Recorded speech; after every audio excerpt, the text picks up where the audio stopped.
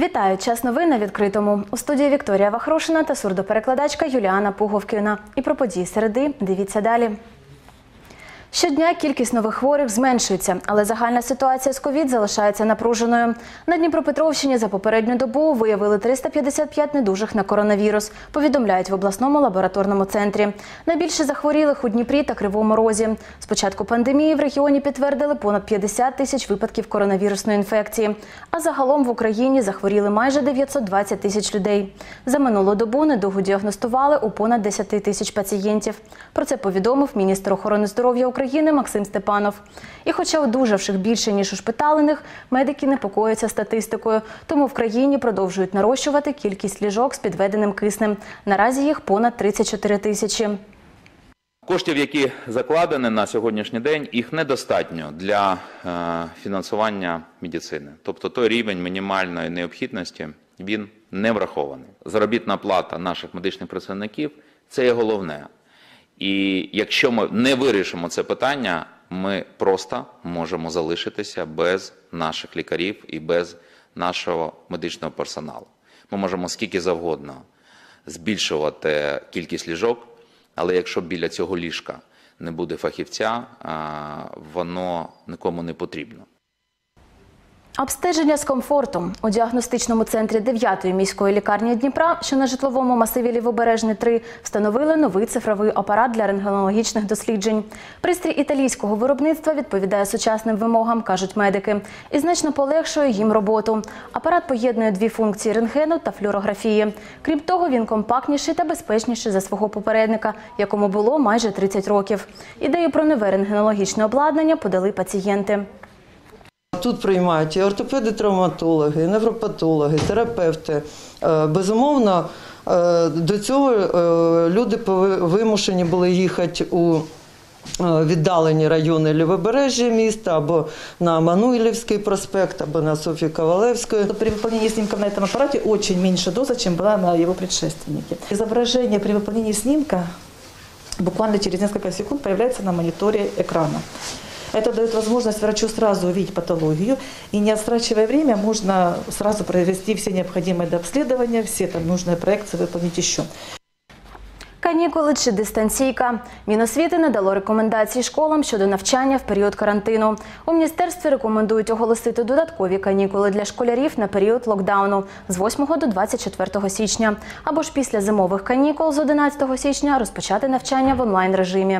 Дістали право на знадня. У Дніпрі відкрилася ще одна школа супергероїв в обласній фтизіатричній лікарні. Тут навчатимуться діти, які проходять тривале лікування та змушені пропускати уроки. У школі при лікарні два новеньких класи для дошкільнят та старших учнів. Зазирнула до них і знімальна група відкритого.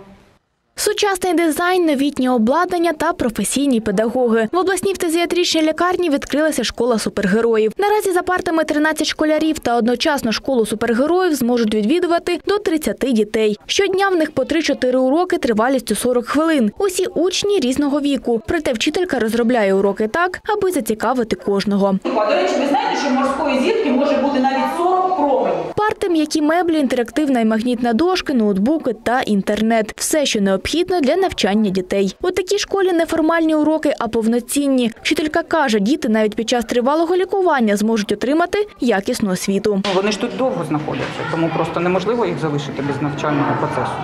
Але от зараз з такою технікою, я думаю, це буде взагалі дуже набагато легше. Навіть без підручника це все можна тепер зробити з інтернет-мережі і завдання підібрати для кожного віку окремо. Восьмикласник Сергійко лікується після сухот вже півроку. Після процедур поспішає на урок. Що такі школи існують, навіть не здогадувався. Мене удивила клас, ігрова. Ну тут би вчителя добрі. Учаться. Тут уроки, тут можна займатися хорошо. Діти в фтизіатричній лікарні різного віку, тому у школі супергероїв два класи – і для старших, і для малечі. Вони мають знати, що вони комусь потрібні. Вони знають, е, мають знати, що вони такі ж, як усі. Вони не просто хворі діти на туберкульоз, вони просто дітки, які ну тимчасово відірвалися від свого класу, відірвалися від родини і знаходяться тут у нас. Школи супергероїв створюють обласним коштом. У 2020 році у Дніпрі відкрилися вже чотири класи. Їхній ремонт та обладнання обійшлися в понад 1 мільйон гривень. Ще одна така школа має з'явитися у Кривому Розі. Загалом в Україні їх вже сім. Дар'я Пшнична, Василь Самовар, Open News, телеканал відкритий. У Дніпрі триває друге пленарне засідання першої сесії Дніпровської міськради восьмого скликання. Зібрався 61 депутат. Уже обрали нового секретаря міськради. Ним став Олександр Санжара, який обіймав цю посаду за попередньої каденції. За нього під час таємного голосування 48 депутатів проголосували за, 10 виступили проти, ще четверо утрималися. Депутати міськради утворили вже 11 постійних комісій. Мають прийняти і бюджет на 2021 рік, а ще програму економічного і соціального розвитку Дніпра. Сесія триває сьогодні у Дніпропетровській облраді. Мають обрати голову, його заступників, склад постійних комісій. Проголосують і за обласний бюджет на наступний рік. А ось держбюджет 2021-го уже ухвалили. За головний фінансовий документ країни проголосували депутати Верховної Ради. За обсягом видатків він майже такий, як і цьогорічний. Однак надходження до державної скарбниці будуть щонайменше на 247 мільярдів меншим за витрати, кажуть фахівці. Фінансування медичної сфери, попри вимоги міністра охорони здоров'я Максима Степанова, не збільшили. Однак у 2021 році додали додаткову бюджетну статтю вакцинація від COVID-19. На це виділили понад 2,5 мільярди гривень. Наступного року нардепи планують провести індекс- індексацію пенсій на 30%, підняти зарплати медикам та на 26% вчителям. Мінімальну місячну зарплатню встановили на рівні 6 тисяч гривень. Рада дозволила держслужбовцям працювати до 70 років. За таке рішення віддали голоси 300 народних обранців. Згідно із законопроєктом, досягнувши 65 років, чиновник може самостійно вирішувати, йти на пенсію чи залишитись на службі. Однак залишитися на посаді можна лише 5 років до 70-річного віку.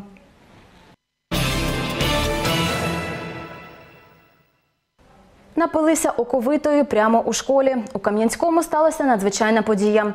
Троє дітей 13-14 років випили самогон. У поліції кажуть, алкоголь до школи приніс один з учнів. Він і прогостив однокласниць. Скуштувавши напій, діти втратили свідомість. Їх терміново госпіталізували до місцевої лікарні.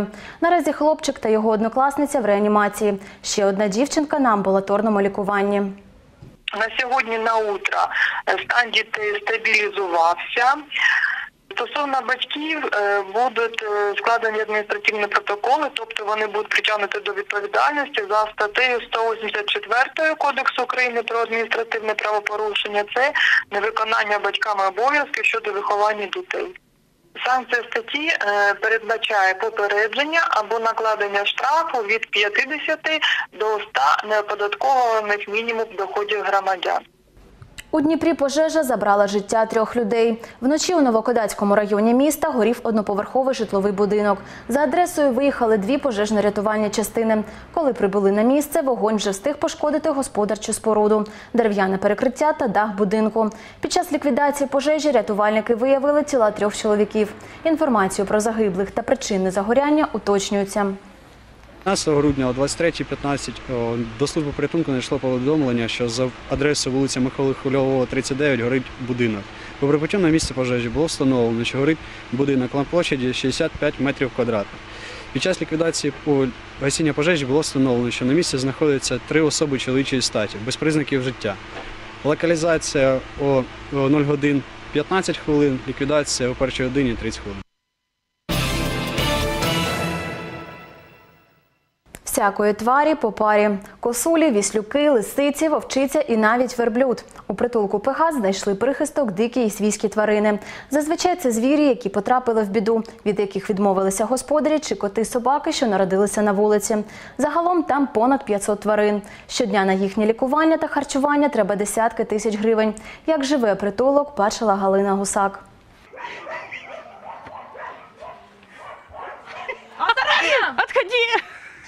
Це Яша. Він може не тільки вкусити, а й плюнути. У притулок Пегас його забрали з готельного комплексу, де він тривалий час був забавкою для гостей, а потім постарів і став непотрібним. Это он уже у нас уже а, откушался.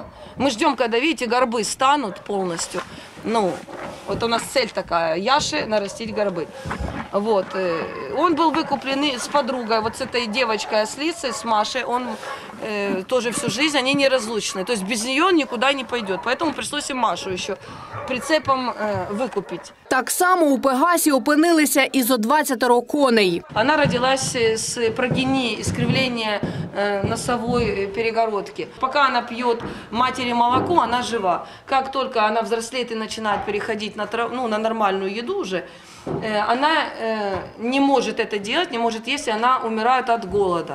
Ее надо учить. Мы покупали овсяные хлопья, мы те- терли яблоки, морковку. А це Кая. Її маму вбили мисливці, а її маленьку продали. Поки вона була цуценям, нею бавилися, а потім посадили на ланцюг. Это были не условия, это было вообще ненормально и, наверное, уже было неинтересно. И Каю вот э, искали, ей, чтобы она не попала на притравочную станцию, вот куда берут охотники, выкупают таких вот разных животных. И мы быстрым сбором вот ее купили, привезли. А ще у Пегасі майже 300 собак. Є й коти, єноти, бурсуки, лисиці, кусулята, кабани. Живуть і птахи – лебеді, фазани, лелеки, чайки, качки, сови. Нині однією тваринкою у Пегасі стало менше. У сім'ю відкритого забрали шиншилу. Слава Богу, уехал, потому что это такое количество. И одна шиншила. Я называю, ты ком шиншили купила? Щодня понад 500 тварин Пегасу з'їдають сотні кілограмів риби, м'яса, каші та зерна. Доглядають за ними волонтери. Люди надсилають гроші, але їх все одно не вистачає, говорить Олена Русіна. Зізнається, у неї завжди мінус 50 тисяч на кредитці. Тож тут повсякчас раді будь-якій допомозі. Галина Гусак, Євген Кодінцов, Open News, телеканал відкритий. Таким були новини на цю годину. Бажаю вам ефективного дня. Більше новин читайте на нашому сайті opentv.media. Дивіться сюжети в соціальних мережах та на нашому ютуб каналі. Залишайтеся з відкритим та не перемикайте.